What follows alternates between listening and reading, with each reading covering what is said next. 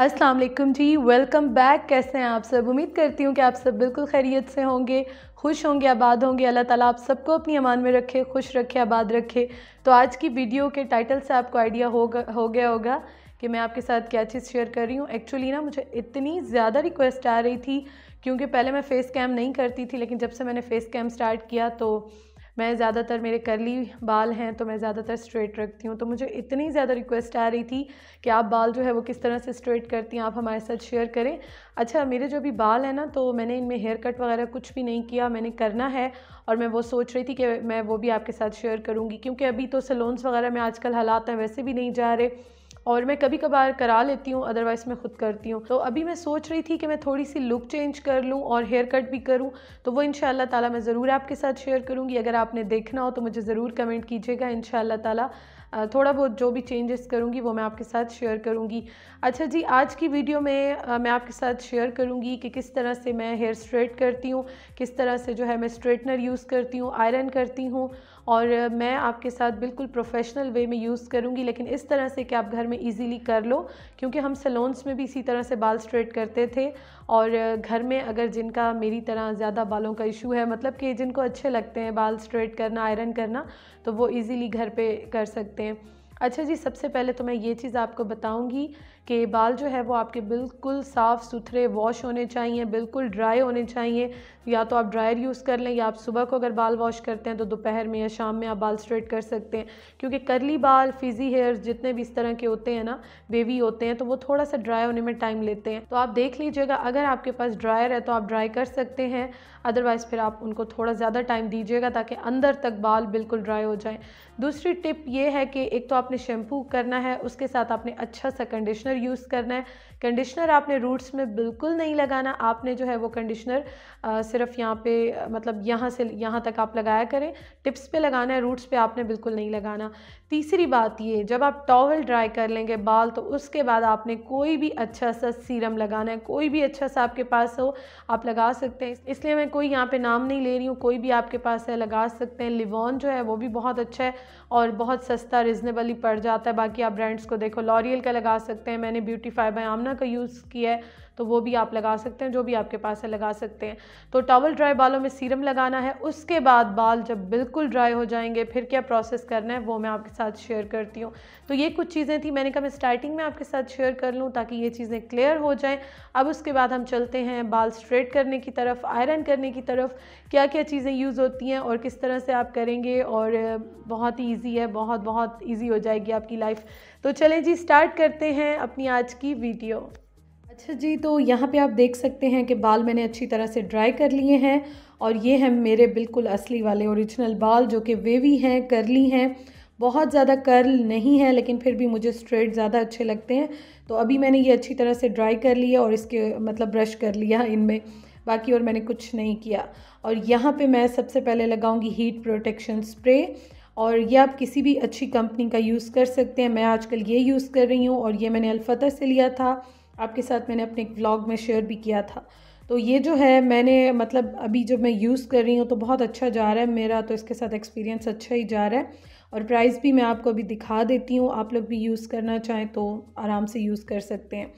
Five ninety five का मैंने लिया था मतलब छः सौ रुपये का समझे आपने, आप, मैंने लिया था। और ये जो है ना, आप मतलब कि एक बार ले लेंगे तो काफ़ी टाइम आपका जो है वो चल जाता है और इतना जल्दी एक्सपायर भी नहीं होता। तो आप ये जो है वो लेके पहले सबसे पहले बाल ड्राई करने के बाद आप इसको अप्लाई कर लें। अब जी उसके बाद जो सबसे ज़्यादा चीज़ काम की है ना वो है hair gripper hair clips catcher भी आ, हम कहते हैं। अगर ये ना हो तो आप कोई भी ले लें मैं तो वैसे ये कलर के लिए या कोई भी स्टाइलिंग करती हूँ हेयर स्ट्रेट करती हूँ तो मैं यही यूज़ करती हूँ। और ये भी इजीली हर शॉप से मिल जाते हैं। अच्छा जी और अब मैंने ली है यहाँ पे टेल कॉम टेल कॉम जो है वो बहुत इंपॉर्टेंट है। आप कुछ भी स्टाइलिंग करते हैं हेयर स्ट्रेट करते हैं कुछ भी इस तरह से। तो अगर आपके बाल भी कर लिए हैं और आप मतलब स्ट्रेट करना चाहते हैं और ये चीज़ ऐसी है कि आप रेगुलर बेसिस पे भी यूज़ कर सकते हैं तो आप एक टेल कॉम्ब अच्छी सी ज़रूर लेके रखें। इतनी महँगी नहीं मिलती, लेकिन यह है कि आपके जो हेयर स्टाइलिंग है, स्ट्रेटनिंग है, पार्टिशनिंग करते हैं तो वो इजीली हो जाती है। अब जी, उसके बाद ये लेके और मैंने यहाँ पे बाल जो हैं उनको मैं पार्टिशनिंग करूँगी उनकी। और जो फ़र्स्ट मैं कर रही हूँ ना क्राउन एरिया से, दोनों कानों की तरफ़ मैं बाल बिल्कुल सेपरेट कर रही हूँ, क्योंकि ये वाला जो एरिया है, बालों का जो ये वाला पार्ट है, मैं बिल्कुल एंड में स्ट्रेट करती हूँ। तो अगर आप स्टेप बाय स्टेप करेंगे तो उससे ये होता है कि आपके बाल जो हैं, वो स्ट्रेट रहते हैं और बहुत अच्छे स्ट्रेट होते हैं। इवन कि अगर आप मतलब हफ़्ता दस दिन भी बाल ऐसे रखें ना मतलब मैं आपको सिर्फ़ एग्जांपल दे रही हूँ तो आपके बाल बिल्कुल ख़राब नहीं होंगे जब तक कि उन पर पानी टच नहीं होगा या गर्मियों में पसीना नहीं आएगा। अच्छा जी, उसके बाद आप देखें, ये मैंने कैचर से जो है कैचर आप ले लें अगर ये आपके पास नहीं है तो हेयर ग्रिपर जो है, उससे मैंने होल्ड कर लिया और उसके बाद जो पीछे वाला नेक वाला एरिया है ना, उससे मैं स्ट्रेट करना स्टार्ट करूँगी। अब आयरन जो मैं यूज़ कर रही हूँ, वो कर रही हूँ मैं सीरा मैजिक की और ये मैंने ली थी, मैं चूँकि प्रोफेशनल काम करती थी सलोन में अपने तो तब मैंने ली थी और इससे मैं रिबॉन्डिंग हो गई एक्सटेंस हो गई, ये चीज़ें मैं करती थी ज़्यादातर। लेकिन अब तो ये है कि रिमिंगटन में भी और बहुत सारे अच्छे अच्छे ब्रांड्स में स्ट्रेटनर आपको मिल जाएँगे। आयरन मिल जाएगी आपको फ्लैट आयरन ले लें आप और एक दफ़ा में अच्छे, ले लें, अच्छी आयरन पे इन्वेस्ट कर दें तो आपकी ज़िंदगी जो है वो सुकून में आ जाएगी। अच्छा जी, अच्छी जो आयरन होती है ना, आप देखें उसके ऊपर एक तो इनका टेम्परेचर मेंशन होता है और ये आप बालों के अकॉर्डिंगली जो है वो यूज़ करते हैं। मेरे बालों में कर्ल इतना ज़्यादा नहीं है, बाल मोटा इतना ज़्यादा नहीं है नॉर्मल पतला बाल है मेरा मेरा। तो इस वजह से ना मैं बहुत ज़्यादा हाई पे नहीं रखती हूँ और बहुत ज़्यादा मुझे डेड स्ट्रेट करने हो तो 180 200 पे मैं रख देती हूँ, बस मैं इतना ही रखती हूँ। तो ये टोटली डिपेंड करता है आपके बालों के मतलब स्ट्रक्चर किस तरह से आपके बाल बहुत ज़्यादा कर लिए हैं, मोटे हैं, पतले हैं तो आप उस तरह से देख लीजिएगा। अच्छा जी, गर्दन से मैं स्टार्ट करती हूँ और जो मेरी रूट्स हैं, उनसे मैं थोड़ा सा आधा इंच छोड़ देती हूँ, क्योंकि वैसे भी रूट्स में इतना ज़्यादा कर्ल नहीं है। तो थोड़ा सा मैं छोड़ के स्ट्रेट करती हूँ। और जब आप गर्दन से करते हुए मतलब ऊपर की तरफ़ आएँगे ना तो आपका एक एक बाल स्ट्रेट होगा। और यही वजह होती है जो मुझे बहुत सारे ये क्वेश्चंस आते हैं कि हमारी थोड़ी देर के बाद बाल जो है वो ख़राब हो जाते हैं, दोबारा कर ला जाता है, बहुत ज़्यादा देर रहते नहीं हैं तो वजह एक ये होती है कि आपने प्रॉपर स्ट्रेट नहीं किए होते। तो स्टार्ट करती हूँ मैं रूट से तीन से चार बार करती हूँ, उसके बाद फिर नीचे लाती हूँ, नीचे भी दो, तीन, चार बार मैं कर लेती हूँ। तो इस तरह से बिल्कुल डेड स्ट्रेट हो जाते हैं। अच्छा अगर आपको बालों में कर्ल चाहिए तो आप थोड़ा सा ऊपर की तरफ़ उठा के करें तो बालों में बड़ी वॉल्यूम बड़ा अच्छा आ जाता है। लेकिन मुझे वैसे ज़्यादातर ये कि डेड स्ट्रेट अच्छे लगते हैं। तो मैं फ्रंट से वॉल्यूम दे देती हूँ, लेकिन मैं जो बैक साइड है ना, वो मैं इसी तरह से रखती हूँ। अच्छा ये आप देखें, इस तरह से आपने वन बाय वन लेयर करके आपने स्ट्रेट कर लेने हैं। और मैं पीछे तो खैर कैमरा सेट नहीं कर सकी अदरवाइज़ मैं आपको बैक से भी दिखा देती।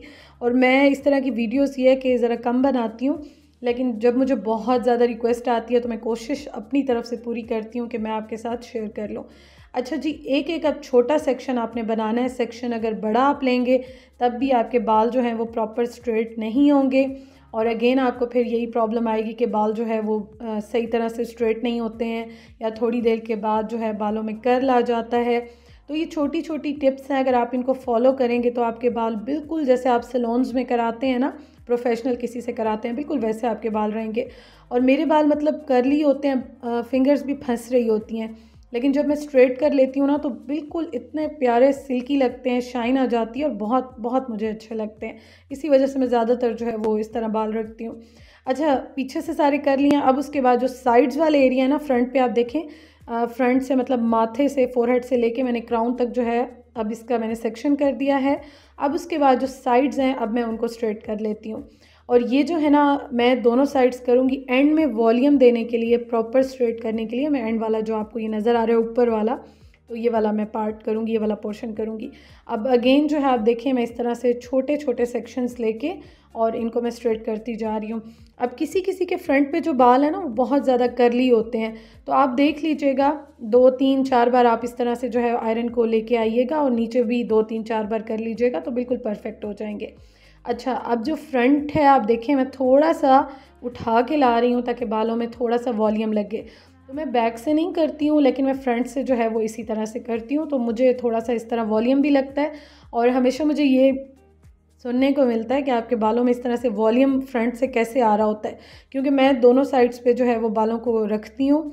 और इस तरह से बड़ा प्यारा वॉल्यूम लगता है। और आप देख सकते हैं, आपको मैंने स्टार्ट में भी दिखा दिए थे बाल, और अब भी मैं आपको दिखा रही हूँ कि माशाल्लाह कितनी अच्छी जो है वो शाइन आ रही है और कितने अच्छे जो है वो बाल लग रहे हैं। और हम लोग सलोन्स में भी खैर ऐसे ही करते हैं, वहाँ पे भी हम लोग इसी तरह से जो है बालों को स्ट्रेट करते हैं। अच्छा अब उसके बाद एक बात और कि मेरे बालों में अभी कटिंग नहीं हुई भी इन ताला हेयर कट करूँगी तो फिर भी मैं आपको दिखा दूँगी कि वो किस तरह से सेट होते हैं। अब मैंने जो लेयर्स में कटिंग की थी अपनी तो वो काफ़ी बड़े हो गए हैं। लेकिन फिर जब मैं लेयर्स में रखती हूँ ना तो मैं थोड़ा सा आप चाहें तो इन्वर्ट कर लें, चाहें तो आप आउटवर्ट कर लें।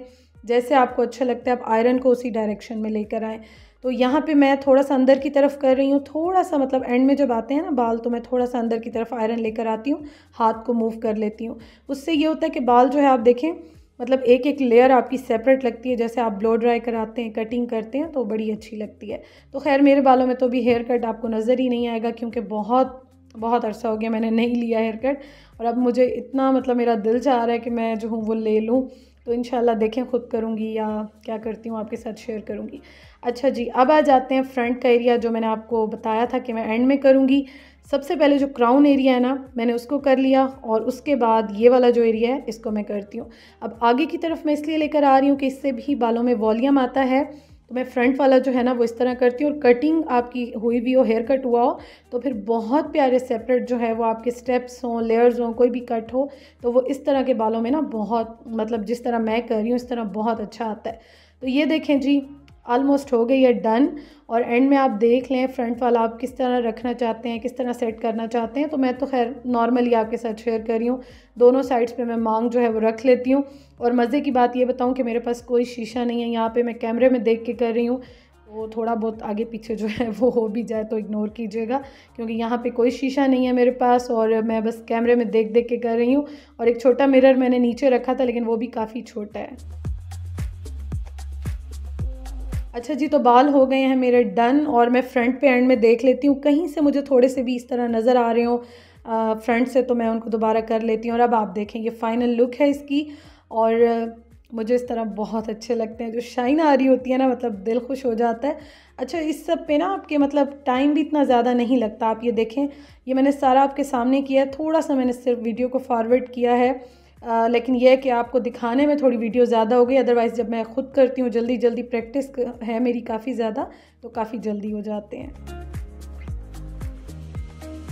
अच्छा जी तो ये थी मेरी आज की वीडियो। और आपको अच्छी लगी हो तो ज़रूर ज़रूर लाइक कीजिएगा। और आप क्या देखना चाहते हैं मुझे ज़रूर बताइएगा। मैं ज़रूर आपके साथ शेयर करूँगी। इन ताला जी नेक्स्ट वीडियो के साथ आपके साथ मुलाकात होगी। लेकिन लाइक करना बिल्कुल मत भूलिएगा। मैं इतनी एफ़र्ट करती हूँ वीडियो बनाती हूँ और आप लाइक नहीं करते हो, मेरा दिल टूट जाता है। मुझे बिल्कुल अच्छा नहीं लगता जब आप बग़ैर लाइक किए जाते हो। तो वीडियो का एंड करती हूँ इन ताला जी, जल्दी मुलाकात होगी। Thank you so much for watching खुश रहें, आबाद रहें। अल्लाह हाफिज़।